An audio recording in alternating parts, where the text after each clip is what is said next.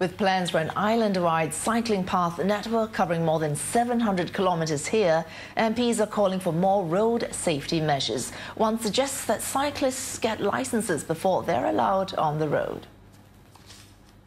This video trending online shows a cyclist riding dangerously on a road near Vivo City. While an accident did not occur, a confrontation nearly did.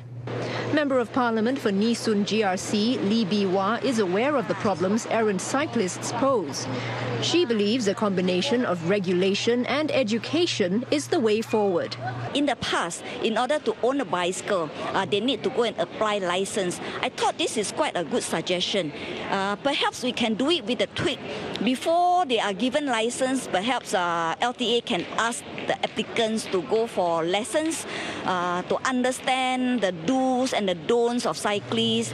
Tampines, Singapore's first model cycling town, has recruited volunteers to act as wardens to help ensure the safety of both cyclists and pedestrians. These wardens look out for unsafe cycling behavior. We need to also complement it with education efforts and at the same time also to enforce against reckless cyclists because safety is the number one priority. Because there's no point saying you encourage cycling but you, you don't promote safe cycling. Although Tampines Town Council is empowered to issue summons to reckless cyclists, wardens have only handed out warnings so far.